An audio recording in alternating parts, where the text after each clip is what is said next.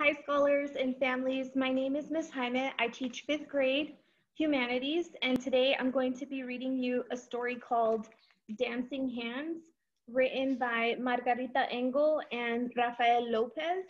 They are the same authors who wrote another great story called A Drum Dream Girl.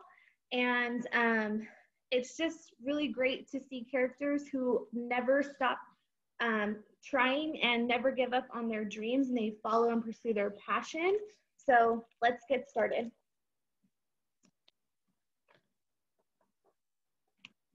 When Teresa was a little girl in Venezuela, Mama sang lullabies while Papa showed Teresita how to let her happy hands dance all across the beautiful dark and light keys of a piano.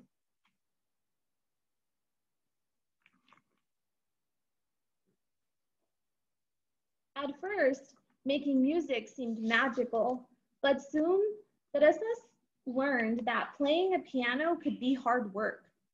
Sometimes she had to struggle to make stubborn music behave as she practiced gentle songs that sounded like colorful birds singing in the dark and light branches of a shaded, dappled mango tree, and powerful songs that roared like prowling jaguars beside towering waterfalls in a mysterious green jungle.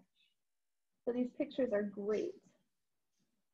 And they really um, show us what the writers mean when they're using all that figurative language in this story. If Teresa felt sad, music cheered her. And when she was happy, the piano helped her share bursts of joy. By the time she was six, she could write her own songs, and at seven, she performed in the peaceful chapel of a magnificent cathedral, playing hymns that shimmered like hummingbirds. There's the cathedral back here that she played in. And she's writing her own songs at six years old. Music was Teresita's delight but suddenly, when she was eight, a war changed everything. Guns blazed, swords flashed, and poor Papa had to rush the whole family down to the seashore and onto a ship, into a storm where wind howled, waves rolled, barrels tumbled, ropes snapped, and clouds bucked and kicked across the wild sky like angry mules.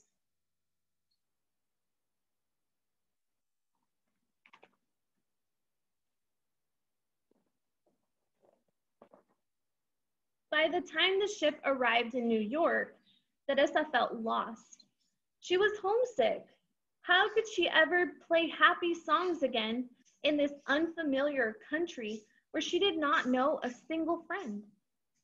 Few people spoke Spanish, and all around her, curious strangers stared and whispered, as if her full, as if her whole family belonged in a museum of oddities.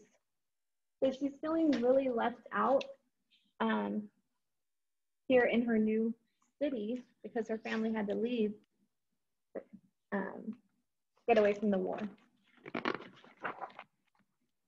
Worst of all, there was fighting here too. The horrible civil war, North battling South as soldiers marched and newspaper boys hollered about victories, defeats, funerals, and fears.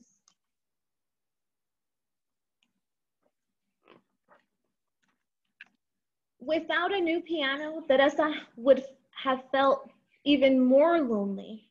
But soon she discovered that wherever one was, some people are friendly, drawn together by songs.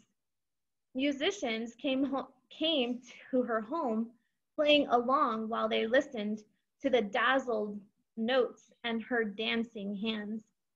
Determined to improve, Teresa practiced grateful, graceful waltz and sonatas, booming symphonies, and lively folk songs with her strong hands accepting the challenge of life's many dark and light moods.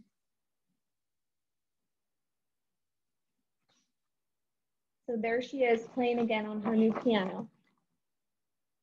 People began to call her the piano girl. Her picture was in the newspaper and on posters advertising concerts where she performed with great orchestras that invited her to play solos.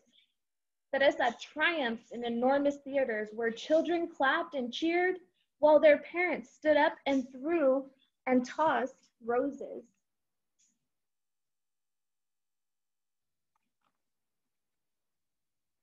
So she's getting pretty famous now.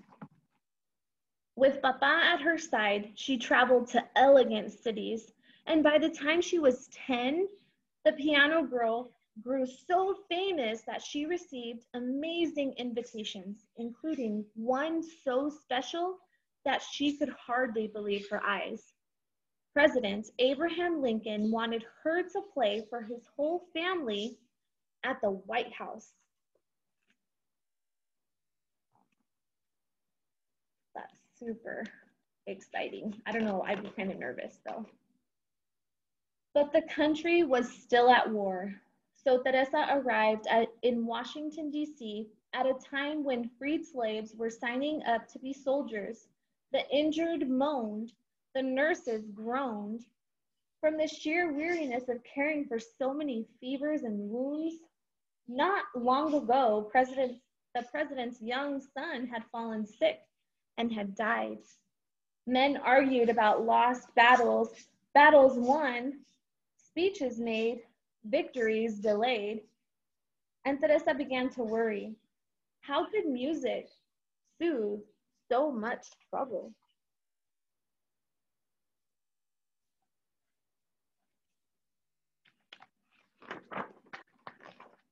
Poor Abraham Lincoln. Teresa hoped that she could entertain the president, his grieving wife, and their two surviving sons. Her fingers stumbled. Her fingers might stumble, the rhythms emerging too slow or too fast.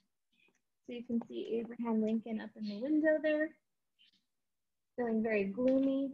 And here she comes and she's kind of nervous. She's like, how am I going to, I hope this helps. I hope I can play a song and make him feel a little bit better. But Teresa was brave and she believed in trying her best. So she entered the White House silently, clutching Papa's hand fiercely as they stepped into a room so red that it looked like a storm or a sunrise.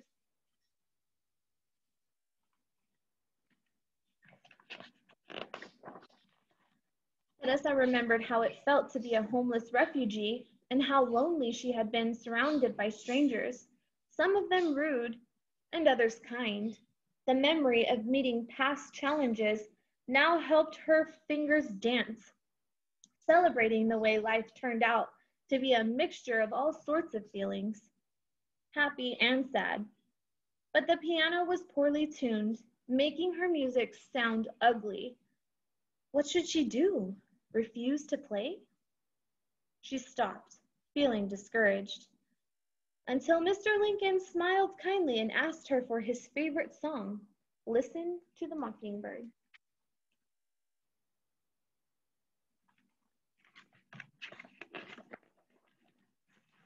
Teresa knew she could play this lively piece on an imperfect piano. So her fingers leaped across all of the glorious sounds, dark and light keys, improvising the way mockingbirds do.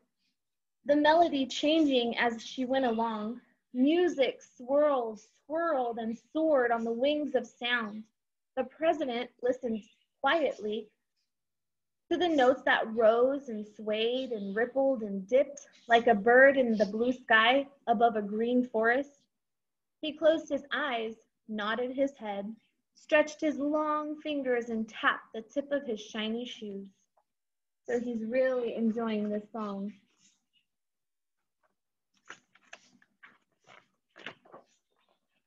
When the joyful song ended, Abe Lincoln stood up and clapped, smiling at the piano girl, who smiled too, because she knew that her music brought comfort to a grieving family, at least for one brief, wonderful evening of dancing hands. I agree. Sometimes I just, I like to listen to music and it puts me in a better mood. From then on, Teresa felt certain she would always be bold enough to share her musical courage anywhere in the world, simply by letting her fingers travel across all the beautiful, dark and light moments of hope. All right, guys, so thank you for listening and watching um, me read this story. I hope you have a great day.